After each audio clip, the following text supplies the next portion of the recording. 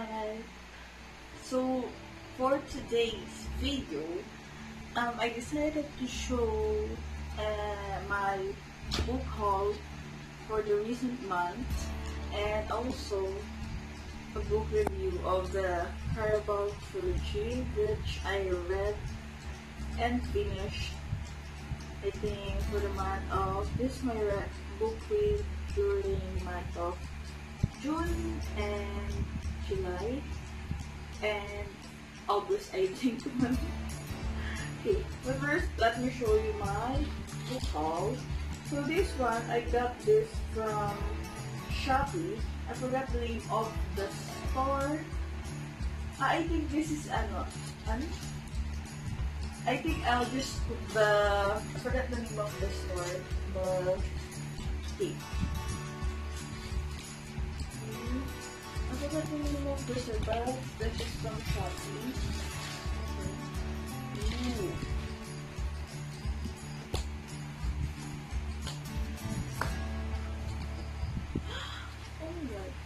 Oh my god. Oh my god. Haven't opened it, but look. I saw there's a free bookmark for this.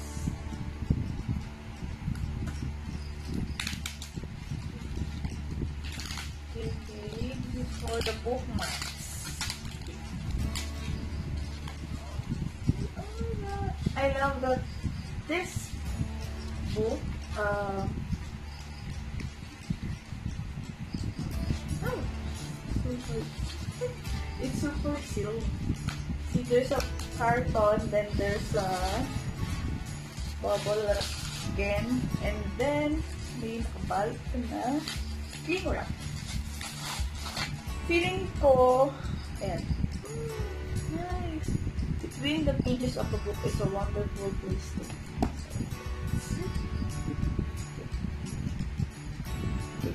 So this is the book. It's King of Scars by Leigh Bardugo. So I just got this copy and actually I already have this one but I bought I ordered last year but it's not here.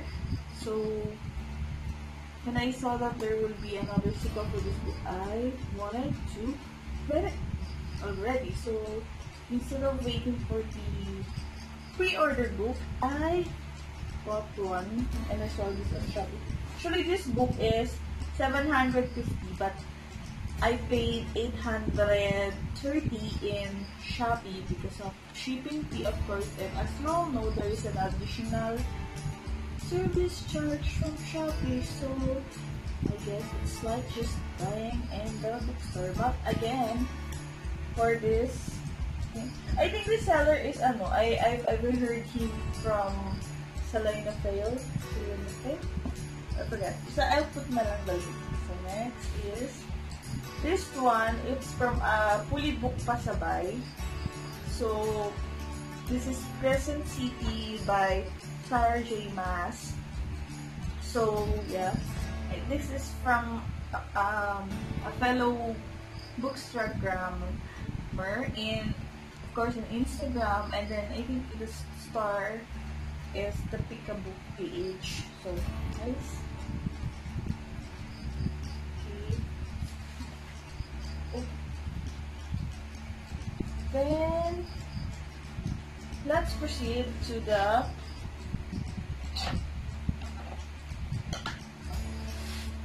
series that I've read. Okay, first I don't know, but this is a hype before, and I just decided to read this because I did, I just completed the ser the series this year, but then I don't know, it just it's just there in my bookshop, and hindi ko siya nabasa before agad. But then ngayon, nabasa ko siya. Ayun. hindi ko akalain na may in love ako with this series. So, in this book, this is this is the Caraval series by Stephanie Garber. So, I think for the first book, super, ito yung first book niya, yung Caraval. So, it's, of course, title itself, it's about a Caraval. So, ayun nga. Remember, it's only a game. It's a game. Actually, this this book, it's about um story of uh, two sister named Scarlett and Donatella Dragna. Which is, um, meron silang father na strict, then wala yung mother nila, and then here's this a legendary caravan na parang nag-round, kung dito sa parang circus, parang ganon, and then merong game doon. And then, I don't wanna tell the whole story para syempre, baka may hindi pa nakakabasa, but then, yung plot niya is iikot dun sa pagpasok nila dun sa Caraval, which is very interesting.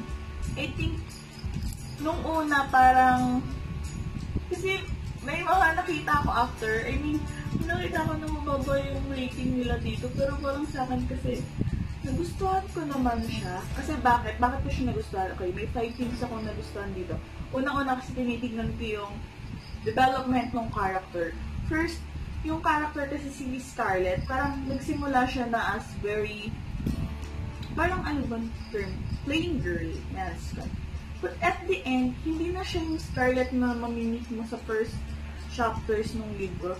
At the same time, yung, ano, yung, ano mo yung, kita mo yung character development. And para sa akin, isa yun sa factor kung ba't ko nagugustuhan yung book. Kung paano ko may engage yun sa character. Kung nagpa-progress ba siya, gano'n. So, yung second reason ba't nagustuhan ko tong Caraval is, siguro kasi yung sister, sa akin kasi importante, just like um, to all the boys I loved before, simple lang yung story niya. If siguro hindi dahil dun sa sister bonding dun ng tatlong magkakapatid, ni Margie, ni Katie, siguro hindi ako ma-indulge to finish that book. But then, kasi yan nandun yung sister bond. So, same with this, yung um, si Donatella at si Scarlett, parang alam mo yun yung hindi lang basta true, yung true love is makikita mo sa Prince Charming. Hindi eh. Pinakita dito sa book na to na yung true love that could possibly break her sa mga fairy tale, eh hindi lang basta parang dun sa magsisa, kundi sa sister mo din na mag give na unconditional love sa'yo. So, okay. So, yung pangatlo, siguro is yung magic siguro, para kasing unexpected. I mean, gusto ko yung ganun na may surprise. So, naalala ko yung The Greatest Showman, kasi bet ko yung mga ganun. And then yung The Little Mermaid na movie, which is parang may circus din doon. Of course, I'm not referring to the fairy tale na, na Little Mermaid, but yung movie na na meron. And then yung fourth, syempre yung love interest din nila dito. I think, uwa lang din ako siguro kasi parang, I mean, medyo lang din. Kaya nga pang portrait ko lang siya. Yung character dito which is Legend, and then si Julian. And then yung other characters na very interesting and mysterious dito. Then yung reason kung bakit siya nagustuhan is because um, ano matawag dito? I don't know the term, pero kasi yun nakaka-relate ako dun sa magkapatid. I mean, yung sa childhood nila, kaya siguro nagkaroon ako ng connection dito. Siguro sa iba parang slow or parang ang ano nung story. But then, syempre, iba-iba yung point of view natin. So, pero dito kasi nakakonect ako dun sa childhood ng magkapatid. So, kaya gusto ko. Kaya, eto, parang I gave it almost 5 star. I forgot 4.8 or 4.9 stars yung naging final rating ko dito. Yun. So, super love ko yung Caravan. So, next book is yung Legendary. So, itong Legendary naman, if the first book ay umikot dun sa panganay na si Scarlett, ito naman, kay Donatella Drag na naman iikot yung story. So, another, ano rin siya sa Caravan. So, pupunta sila sa Elancine, Elancine, I forgot how to pronounce word correctly. Comment below kung tama ba yung pagka-pronounce ko ng lugar. So, dun gaganapin birthday ni Donatella at the same time nung Empress, nung lugar na magical na lugar na yun. So, dito maraming papasok na characters. So, magkakaroon ng mga fates. So, yung fates is parang, I don't know, if sa other book parang God and Goddesses siya, pero dito kasi para siyang Parang siyang ganun. Pero parang they are cursed more than God. So, may mga powers sila. Pero parang, ayun, I won't tell anymore. Pero ganun yun.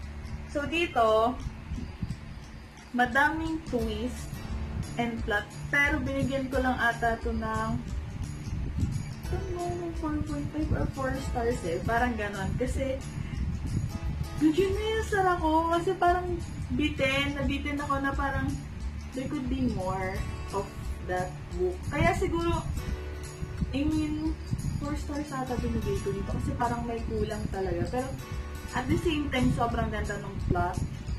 Again, yung mag-sister, super gusto ko pa rin.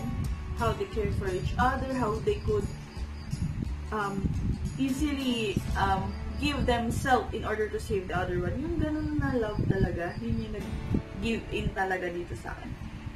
And, of course, the love interest. Okay. For the last book is, of course, yung finale. So, for finale, ito 5 stars to. And dito, kung bakit naging 4 stars yung Legendary is because hindi mo kasi makita yung buong plot sa Legendary kasi parang ito yung half eh. Ito yung half nung story and dito yung karugtong. So, nandito talaga yung climax ng, leg- ng plot twist. Yung parang intro intro dun sa plot ng Legendary. So, sobrang ganda ng finale. And then, dito ako nag-change ng bias. Kung dati parang na-inlove ako dun sa 1K Julian. Pagdating sa 2, parang gusto ko na si Dante. Pagdating dito, naguluhan na ako. Hindi ko na alam kung sino yung pipiliin ko. Ay, parang si si Jack. So, binanggit ko na yung character. 5 stars sa akin kasi sobrang ganda. Tapos, yung mother dito, yung mother nila, feel daw din dito. Tapos, super ganda. Alam mo yung feeling na mararamdaman mo yung pain. Actually, parang naiyak ako dun sa, may part dito na naiyak ako. Kaya, sobrang, pag ganun na pa ako ng libro, parang, okay, worth it ka. Actually, natapos ko lang ito, mabilis lang. Tapos, super, ah, ayun, super na-enjoy ko talaga yung libro na to. So, ayun, sa mga gustong mag-recommend ng ay, I mean, gusto magbasa nito, I think okay naman siya. Mabilis naman siyang basahin siya. Sobrang enjoy. Kung gusto niyo rin ng parang malaprosen na Anna and ano yata ni Anna?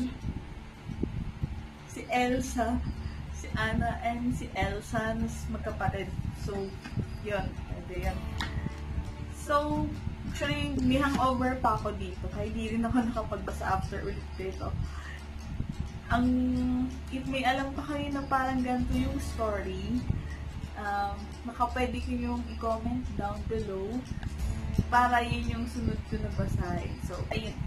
So, that's all for the wrap up, guys. So, thank you for watching again. And sorry kung baka boring kayo sa kwento, pero sobrang love ko talaga itong So, that's all. Thank you. That's all for this video.